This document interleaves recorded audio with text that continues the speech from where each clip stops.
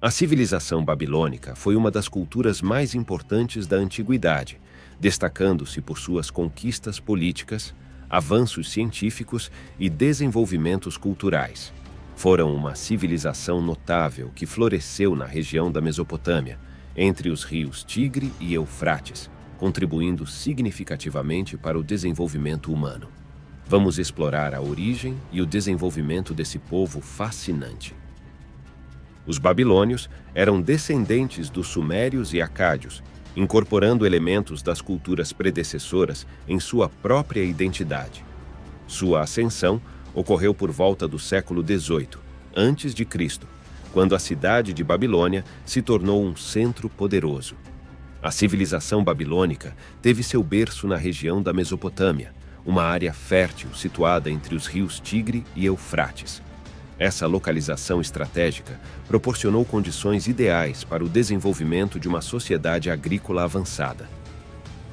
O primeiro assentamento importante na região foi a cidade de Babilônia. Seu nome deriva do acadiano Bab-Ilu, que significa Porta dos Deuses. A cidade foi inicialmente fundada por volta do século XVIII, Cristo, pelo rei Sumu Abum, unindo várias pequenas cidades da região em um único estado.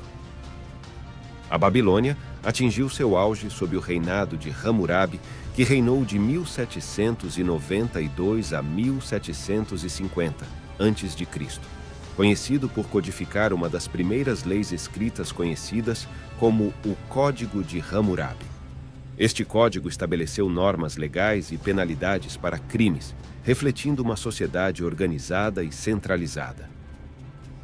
Hammurabi foi um dos reis mais proeminentes que reinou por volta do século XVIII, antes de Cristo. É notável por ter codificado leis em um conjunto conhecido como Código de Hammurabi. Este código foi um marco na história legal, estabelecendo padrões de justiça e punição. A cultura babilônica foi influenciada por outras civilizações da Mesopotâmia, como os sumérios e acádios. A religião desempenhou um papel significativo na vida cotidiana, com a adoração de deuses como Marduk, o deus supremo babilônico.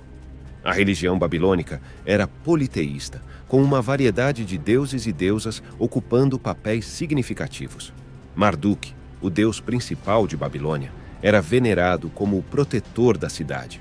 Os babilônios compartilharam a Mesopotâmia com outros grupos, como os assírios. Embora tenha havido períodos de conflito, também houve interações culturais e comerciais significativas entre essas civilizações. Após o reinado de Hammurabi, a Babilônia passou por períodos de declínio e ascensão, muitas vezes subjugada por impérios vizinhos. No entanto, a cidade continuou a ser um centro cultural e econômico importante. Outro período de destaque na história babilônica ocorreu durante o reinado de Nabucodonosor II. Seu reinado foi de 604 a 562 a.C. Ele é lembrado por suas conquistas militares, expansão do Império Babilônico e pela construção dos jardins suspensos da Babilônia, uma das sete maravilhas do mundo antigo. A relação entre os babilônios e o povo judeu é notável pelo exílio babilônico. No século IV a.C., os babilônios conquistaram o reino de Judá, levando muitos judeus cativos para a Babilônia. Esse evento teve impactos duradouros na cultura e na religião judaica. A Babilônia eventualmente caiu diante das conquistas persas lideradas por Ciro, o Grande, em 539 a.C.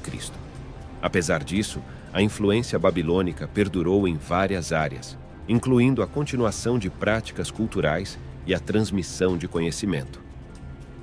O legado dos babilônios é notável na história da civilização, contribuindo para o desenvolvimento da escrita cuneiforme, astronomia, matemática e arquitetura.